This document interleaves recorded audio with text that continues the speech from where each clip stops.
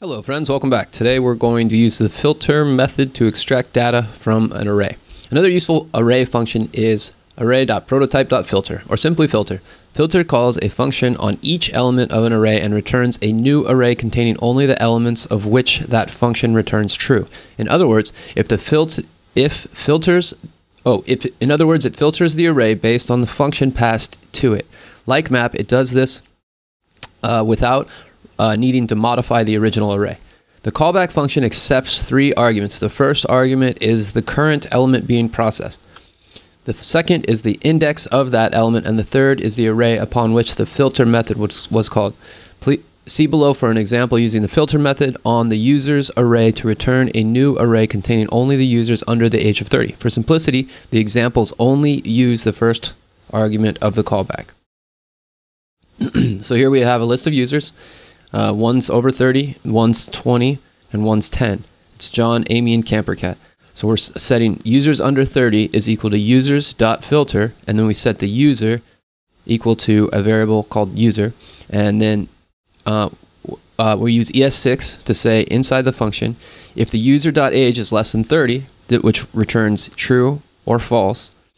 Um, if that is true, then the um, it saves it to the array. And so users under 30 in this in this array where two of the objects pass that, the um, users under 30 could turn out to be Amy, age 20, so it, it saves the entire value of the data, and um, Campercat, age 10. And whereas John has been left out because John's 34.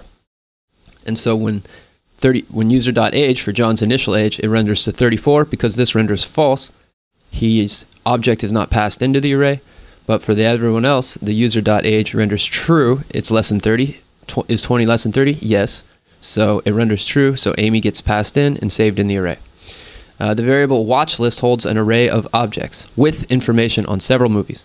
Use a combination of filter and map on watch list to assign a new array of objects with only title and rating keys. The new array should only include objects where IMDb rating is greater than or equal to 8. Note that the rating values are saved as strings in the object, and you may need to convert them into numbers to perform mathematical operations on them. Okay, so we've got our watch list. It's the same that we've had in the last few lessons. And then here we just want to create a filtered list. Okay, so what we're going to be doing here is filtering and then doing, I think we're going to do the same map thing as well. Um, so let's see. If we map it out first, we'll have easier data to work with. So let's make the filter list equal to my uh, watch list. Is that right? Watch list. We'll make it equal to watch list um, dot map. And then I'm going to do this first off just in old school JavaScript. And then we'll move on to doing it. I'll show you, I'll refactor it later into ES6. Um, so yeah, watch list stop map. And then, so with here, we're going to say each individual movie. Um, each individual movie. Now I use long variable names because I think long variable names make the make code easier to understand um, what's going on. So first off, we want to return, well, what do we want to return? With each, we're going to map through this first. So what we want to do, this is the exact same thing that we did in the last lesson. We're going to create a uh, refined we need to say let refined data equal an object. Um, uh, refined movie data. I think that's more explicit. Uh, so refined uh, movie data. Uh, and then we want it to be the title with a lowercase t is equal to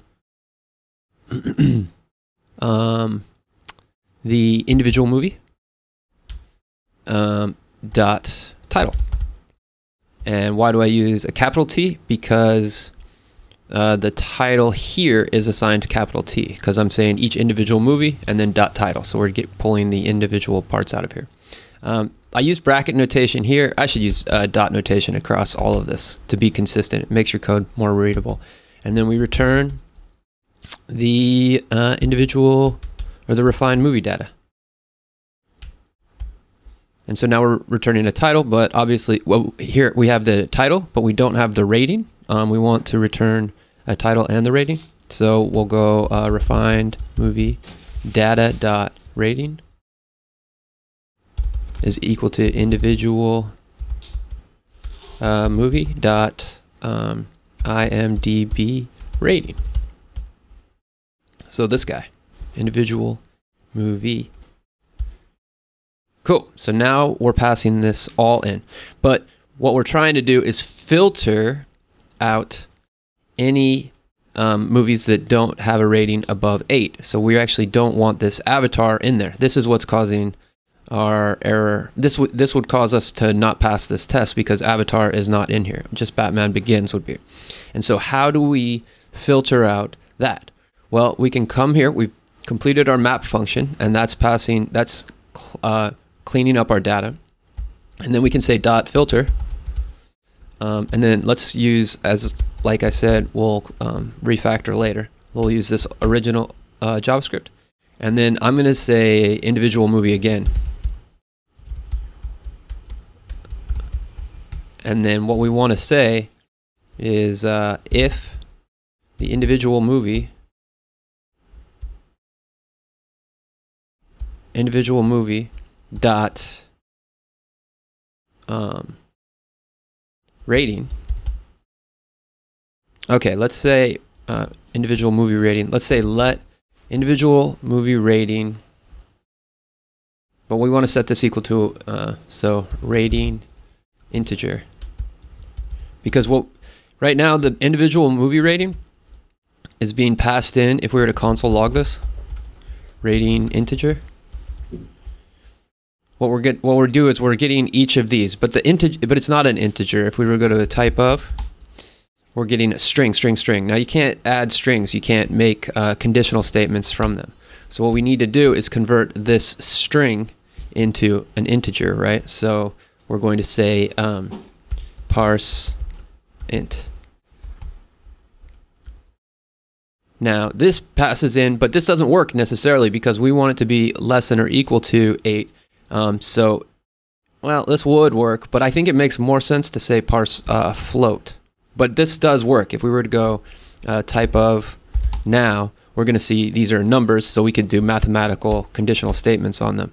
But let's make it parse float. And that way we get the floating integers, which I think is more useful.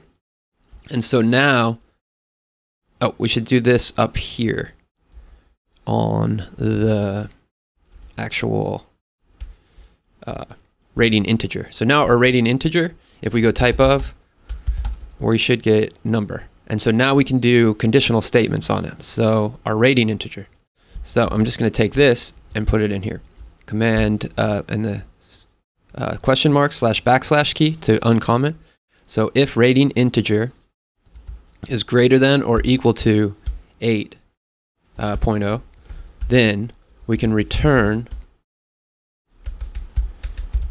then we return, what do we return? Not the rating integer, but we want to return the, the individual movie. And uh, we can get rid of this console log now. And so now we're, we've got an array and it doesn't have that last element in it because it's not returning that. So I think if we run the test, that, that should pass. Okay, cool. Um, so I hope that this this makes sense. I tried to go through it as slowly and um, as focused as possible. Let's say we wanted to use ES6 instead of this um, longer old older school JavaScript. We get rid of this function and we can call individual movie like this. This will still work. So same thing here. We can do the ES6 and use arrow functions to clean the code up a little bit. Um,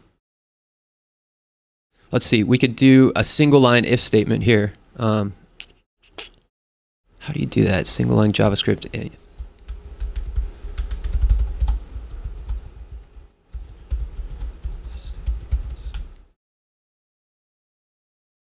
Single line if statements. If lemons, okay, so I think we could go if rating integer return individual movie. Cool, that would actually get us a little bit um, more uh, succinct code. Uh, we could do this instead of saying individual rating integer. That gets us even less lines of code, though I think this becomes more difficult to read. I personally would rather do it like this. Uh, I would rather leave it here because I like being able to read uh, my code.